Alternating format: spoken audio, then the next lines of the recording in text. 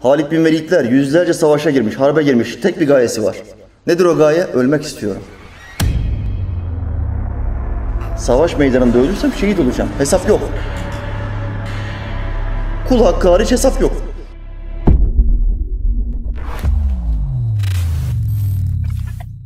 Ve inne ecelallahi leatin Allah katında muhakkak bir tayin ettiği bir ecel vardır. Senin vaktin vardır. Sen çok kavuşmayı istiyorsun ama senin vaktin vardır. Allah sana belli bir vakit vermiştir.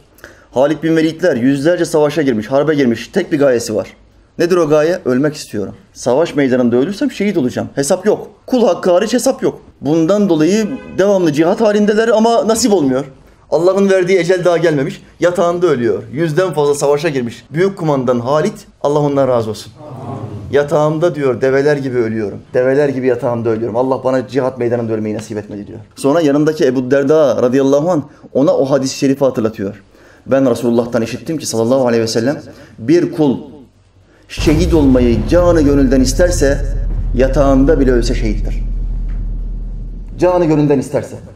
Hayatı boyunca cihad etmiş tamam sen. Başka ne olacaksın artık? Allah sana şehitliği vermeyecek de bize mi verecek? Allah onlara rahmet etsin. Cennette kavuşmayı bize nasip etsin inşallah. Amin ya mu'in. Tamam. İnsanların büyük çoğunluğu erken bir şekilde müminlerin büyük çoğunluğu imanı kuvvetli olanlar ölüm onlara soğuk değildir. İmanı zayıf olanlara ölüm çok soğuktur. Ölümden korkarlar. Yalnız kalmaktan korkarlar. Sessizlikten çok korkarlar. Bak herkes kendini çek etsin. Şimdi iki tane misal vereceğim. Eve girer girmez televizyon televizyon açıyor musun açmıyor musun? Eve girer girmez bilgisayarı açıyor musun açmıyor musun?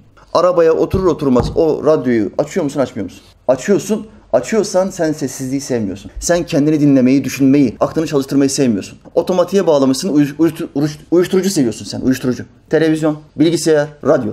Muhakkak bir ses olmalı sende. Çünkü sessizlik sana ölümü, hesabı, yalnızlığı, kabirde, toprağın altında, karanlık bir yerde yalnız kalacağın anı hatırlatıyor. Ve bu sana sıkıntı veriyor. İçin daralıyor. Halbuki mümin için yalnız kalmak huzur halidir. Allah ile baş başa olduğu haldir. İnsanların içinde olduğu zaman onların dertlerini, sıkıntılarını dinlediği için, dünya kelamı yaptığı için Allah'tan gafil olabilir mümin kul. Ama insanlardan uzaklaştığı zaman buna halvet hali denir. Tek başına her dervişin vazifesi nedir kardeşler tarikatta? Yatmadan önce muhakkak Allah Teala Hazretlerine rabıta yapacak. Ölüm rabıtası, mürşit rabıtası, peygamber rabıtası, ilahi rabıta. Dört kısım. Allah'ın huzurunda, Rabbinle teke tek. Bunu kalacaksın.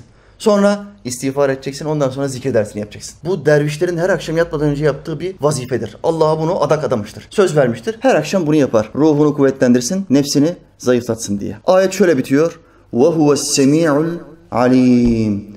Muhakkak ki Allah işitendir ve her şeyi bilendir. Şimdi kim Allah'a kavuşmayı istiyor, kim istemiyor? Allah Teala bunların tamamını işitip biliyor mu kardeşler? Biliyor. Kim kulağından her gün, dilinden her gün Allah lafzını eksik etmiyor? Kulağından her gün ilim öğrenmeyi eksik etmiyor? Güzel arkadaşların sohbetlerini eksik etmiyor? Allah bunların tamamını işitir mi, işitmez mi? İşitir. Nakşibendi dervişinin sessiz yaptığı zikri işitir mi? Nakşilerin zikrinde dil terse çevrilir, damağa döndürülür. Zikir öyle bir yapılır ki kendisi bile duymayacak. Riya yapmasın ben bu kadar zikrettim falan demesin diye. Melek de duymayacak, şeytan da duymayacak. Buna hafi zikir denir. Muhammed Aleyhisselam'ın sözüyle zikrin hayırlısı hafi olandır, gizli olandır. Rızkın hayırlısı kafi olandır. Az olan rızık hayırlı olan rızıktır, güzel olan rızıktır. Ahirette hesabı daha kolay vermenizi sağlar. Bu bir hadis-i şeriftir. Allah Teala Kur'an-ı Kerim'in birçok ayetinde gizli yapılan zikri methediyor. O müminler ki sessiz içten içe Allah'ı zikrederler. Zikrin bir ölçüsünü bile Mevla Teala Kur'an'da vermiş. İşte Allah'ımız diyor ki hepsini işitir. O Allah kim zikrini yapıyorsa işitir. Kim kendisine kavuşmayı istiyorsa bunu bilir. İstemeyeni de bilir. Allah'tan gittikçe uzaklaşmak isteyenler var ya namaza çağırırsın yok ben gelmem daha vakti var der. 50 yaşına gelince başlayacağım der. Bunlar uzak kalmak istiyor. Uzak durmak istiyor. Allah bunları da bilir. Madem Allah senin hakkında her şeyi biliyor. Neden o Allah'ın için bir iki adım atmıyorsun? Neden yakın olmak istemiyorsun?